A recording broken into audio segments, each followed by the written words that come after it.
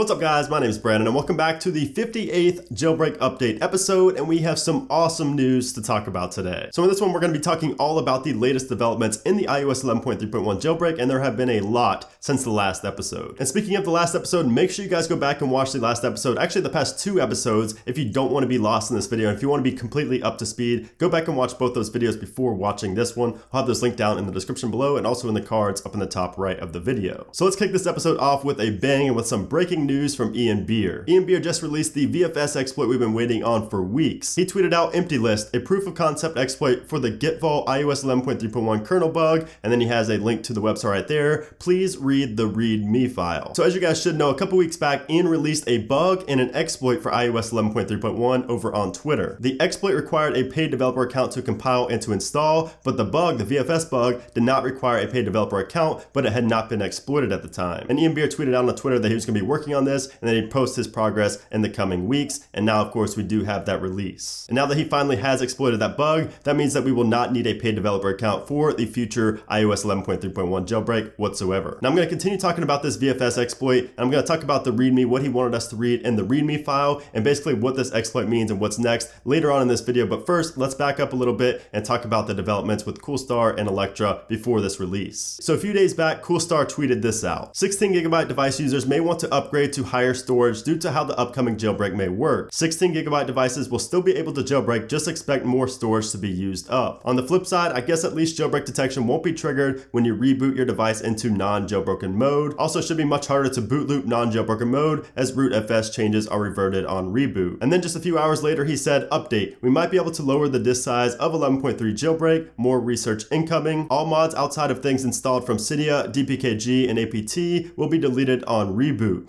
Most forms of jailbreak detection will no longer work in unjailbroken states. And then two days later, Coolstar gave another update saying just tested on 11.2 and looks like 11.2 through 11.2.2 users at least will not have the file system issues that 11.3.x will have. So it's looking like the Electra jailbreak may actually take up more storage on 11.3.1 than it does on 11.2, which is pretty interesting. Now, of course, this is not a big deal unless you have a 16 and maybe even a 32 gigabyte device. Uh, if you don't have one of those devices, this isn't really anything to worry about. I just want to bring you guys the latest with this jailbreak. But if you do have a 16 gigabyte device, you're still going to be able to jailbreak. You just may not be able to have as many songs and pictures or whatever on your device. And then later that day, the Electra team tweeted out on Twitter saying this. Electra can now fully jailbreak iOS 11.2 through 11.2.6. The main issue right now is with the rootfs remount. Once fixed, Electra will work up to iOS 11.3.1. And then just two days ago, Coolstar tweeted this out. Hello 11.3.1 with a picture you can see here of a jailbroken iPad running an Anemone theme. So this was obviously good to see that we had an iPad jailbroken on 11.3.1 running a theme and all that good stuff, but then Coolstar followed that up with this. Cydia is broken on 11.3.1 and it's rather buggy, but code injection and the rootfs remount works. For those who use apt-get or dpkg on the command line instead of Cydia, those do work on iOS 11.3.1. And then just yesterday, Coolstar said, still having issues with the remount on 11.3.1, can't make too much progress until this is fixed, unfortunately. Major issues from the remount include, but are not limited to, Bluetooth not working, passcode protected Wi-Fi networks and airplane mode toggle not working, Apple ID verification failing, camera app disappearing from the lock screen, and some others we probably haven't found yet. Looks like we might have to wait and see what Morpheus has planned for LiberiOS's 11.3.1 remount. The current public implementation that was provided for the remount is far too buggy to be usable. Worst case scenario, I do have an alternate solution that we can use for 11.3.1 if the issues with the non-persistent bypass can't be fixed.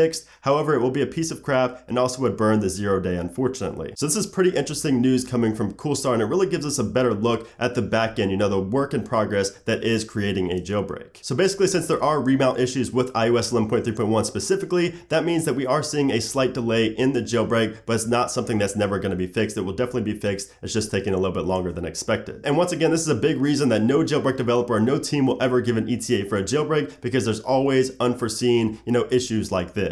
Now, all those tweets you saw from Coolstar and the Electra team were tweeted out before this VFS exploit got released by Beer. Again, that just happened today. All those tweets were from before today. So now I know what you're thinking. Does this VFS exploit from Beer that was just released today, does that mean that we'll have a fix for the remount issues in 11.3.1 just because this is a new exploit? The answer to that is no. The only benefit that the VFS exploit has over the other exploit is that it does not require a paid developer account. The remount issue that Coolstar has been talking about is actually in the software itself. It doesn't have anything to do with the actual exploit. And once again, Coolstar and the Electra team will be finding a workaround to this issue so that we do finally get the full jailbreak. Now let's go back to the tweet that Ian Beer tweeted out earlier today with the exploit release. You can see here that the link goes to the same page as before, but now he has the exploit linked in a comment. And here's an interesting little piece from the README. Reliability. The exploit does work, which was my goal. Reliability is something like 30% maybe. It all hinges on how quickly you can do the initial overflow and test loop. If something else comes in and allocates or frees the kalloc 16, you can increase the probability that you corrupt a free list entry or something else and will panic. I'm sure the exploit can be made more reliable. I've only got to the point where I've demonstrated that this bug is exploitable. If you want to take this as a starting point and demonstrate how to improve reliability, I'd love to read a blog post. I imagine this would involve actually monitoring kalloc 16 allocations and understanding